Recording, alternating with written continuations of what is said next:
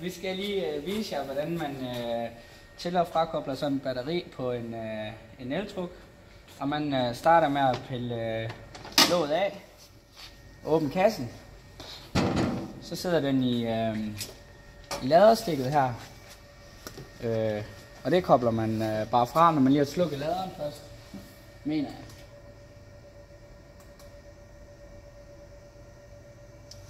Så. Og så skal det pilles fra hinanden.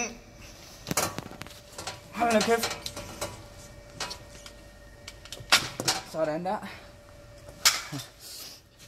Og så øh, skal det i trukken. Og så øh, tjekker man lige alle de øh, hvide her, så man kan se, om det hvide er synligt, for ellers så, øh, så skal der lige lidt vand på. Øh, og så er det ellers bare at lukke kassen igen. Har jeg glemt noget, Thomas? Okay. Og så kører den. Done.